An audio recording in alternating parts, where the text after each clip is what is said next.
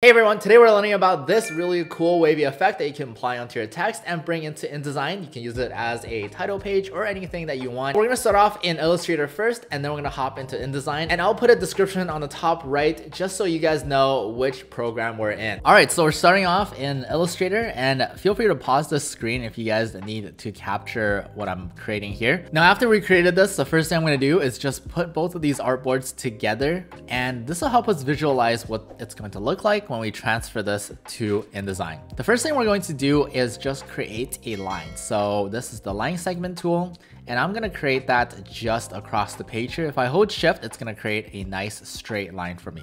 Okay, so after we have that, we're gonna select the line, go into effect, go into distort and transform, and we're gonna hit transform.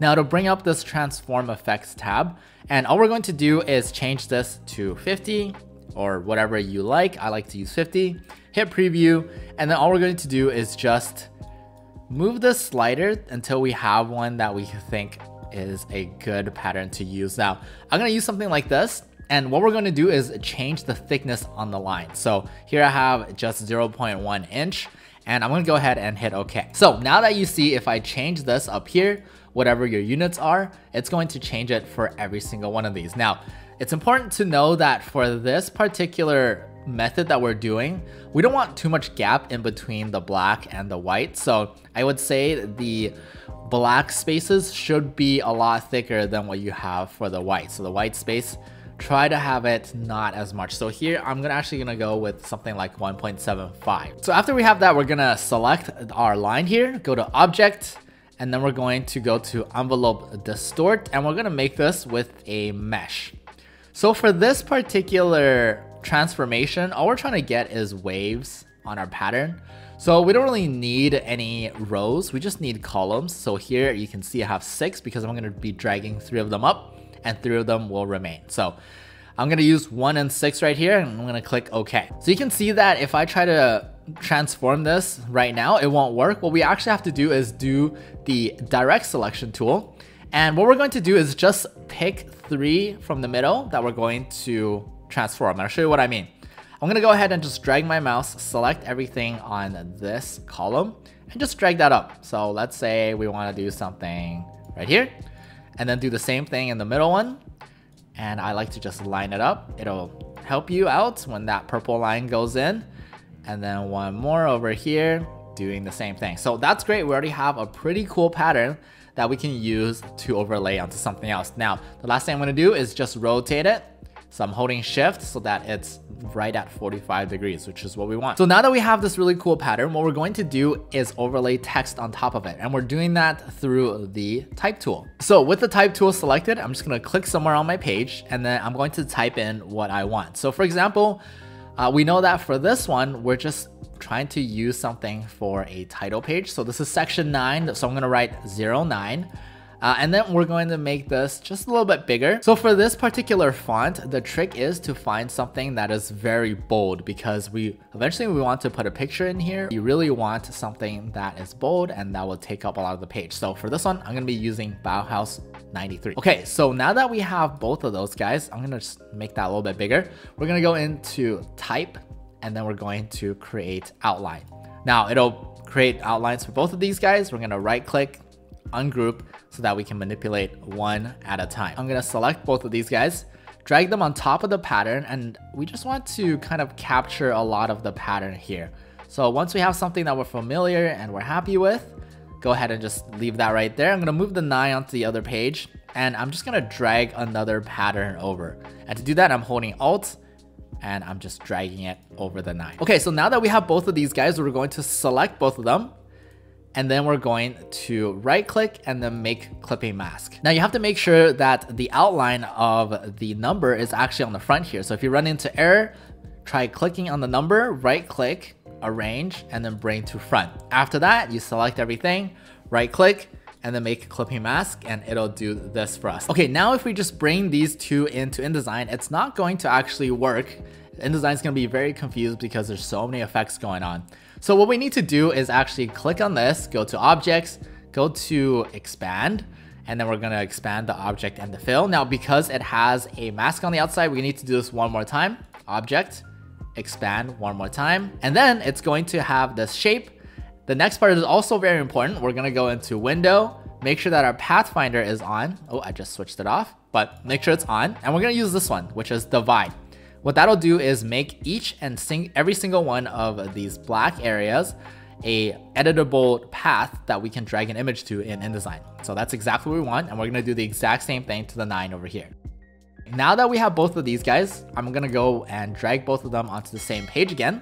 And I'm going to select both of them. I'm going to group these guys and I'm going to go into effect, 3D and material. We're gonna scroll down to 3D classic and we're gonna do rotate. So here I just wanted to give it a nice effect as if it's kind of lying down on the ground. So just dragging this until you find one that really fits what you're trying to do.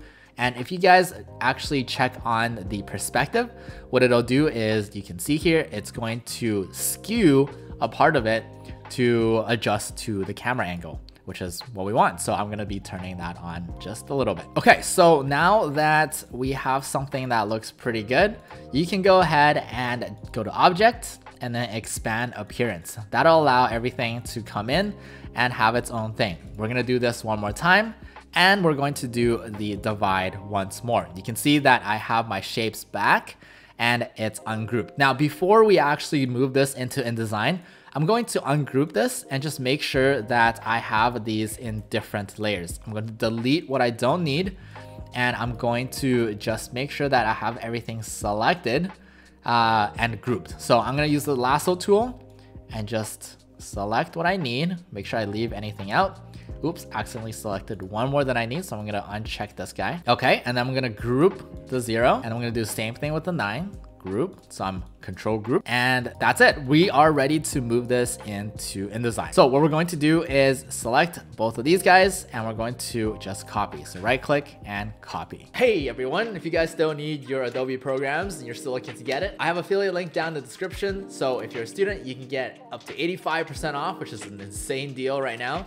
Uh, and if you click that affiliate link, it'll really help out the channel and you'll get your Adobe. So win-win situation for both of us. I would really appreciate it.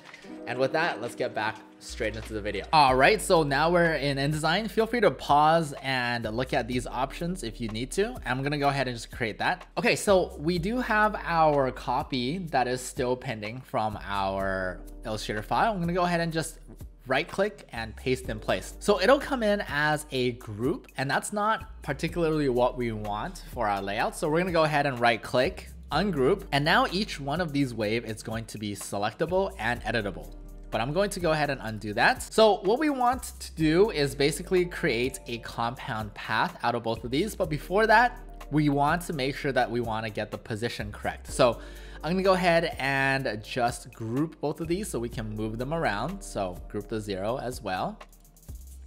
And I'm going to move this around and use the W button to preview until I find a position that I really like and a size that I really like with these guys. So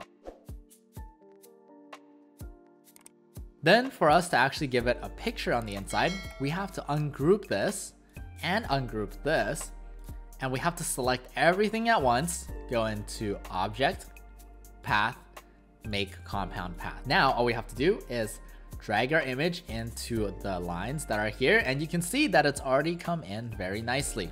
What we have to do is click on the image, right click, fitting, fit frame proportionally, and you can see that my lemon is going to come in very nicely. Okay, so if we want to actually move the image on the inside, maybe it's too big, maybe it's too small, maybe I want the lemon to show up just a tiny bit more on the left, we can double click on the colored part and just use the left and right arrows to move the image left and right. So if I want this guy to go left just a little bit more, I can do that. Also, if I want this image to be a little bit bigger, I can change it from the different uh, transform box options, but I'm going to play around with this until I'm happy with the result here.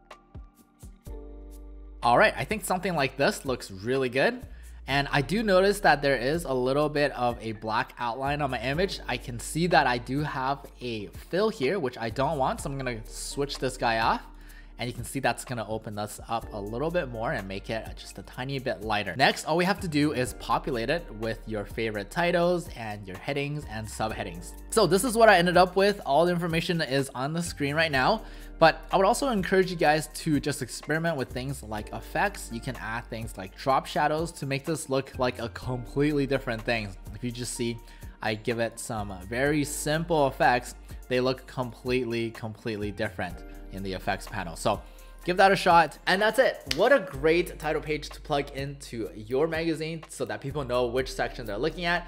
If you guys did enjoy this video, please share, like, and subscribe. Tell me what you learned that was new or was interesting, and also leave your questions down below. I don't think people use this enough, but it's a great resource for people like me or people from the community to help you out if you have questions. With that said, I hope you guys enjoyed this video, and I'll see you guys in the next one. Bye-bye.